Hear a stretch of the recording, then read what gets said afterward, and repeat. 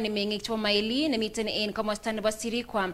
En sangu nebo nganasetab Eldoret en county nebo Uasin Gishu en kit nekonereki kit nemwoe kole ah, oret anan tetutik chekiboisien en kotolsiet nebo koik en kware notok nebo Sirikwa.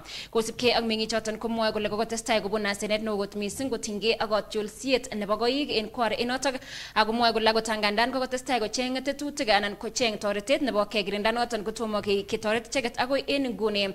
Akot kunoton kokamwa kole ako kotestai kotolsionoton bo koiwek kong'em meng'otosiekwak ak en noton konyolu en serikali koker kole kachutyi kwen asikobit konyor anan asikobit keker kele kakimuch ketoret icheket keisto oratinwek chekiboisien en kware inotok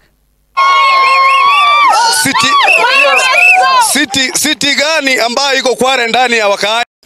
Eh, malupusi yake tumesumbuana na hao wafanyikazi wa Kware ama wenye Kware kwa muda wa miaka kama tano saa hii, tukienda kwa wakubwa wetu wa serikali, lakini hatuna msaada wowote ambao tumesaidiwa. Uh, kwa, kwa jana tumepata kilipusi ambacho kimetusua sana kama kwa wakaaji hapa Sirikwa Kware. Eh, tumepeleka malalamishi yetu katika vyombo vya serikali vya polisi, lakini hatujapata usaidizi wowote, kwa sababu tulisema tunataka tuandamane, lakini wametuambia hatufai kuandamana. Na juzi juzi tu Mheshimiwa Rais wetu mpendwa William Ruto alichukua mji huu uwe city. Hata sisi tunashangaa city ya aina gani ambapo bado tunalipuliwa sisi kama wakaaji wa Sirikwa Kware. Wakaaji tunasema nini kuhusu ili Sirikwa Kware? tukaenda tukatengeneza task force kwa ofisi ya DCC. Mpaka wa leo hatujapata rip, nini report, tulipewa tu findings.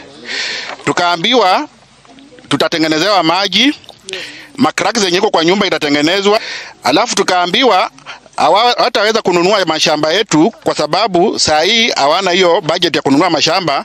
Kama mtu anataka kuuza shamba yake ikuwe ni willing buyer, willing se, willing seller. Saa hii tunapoongea, jana wamefanya blasting. Hiyo impact wananchi wanasema iko juu kuliko hizo blasting zote. Ombi letu ni kwamba kama wanasirikwa sisi tulinunua hapa kwa hiari na katiba inaturuhusu tupewe nafasi yetu mzuri ya kuishi kwa, ama, kwa amani.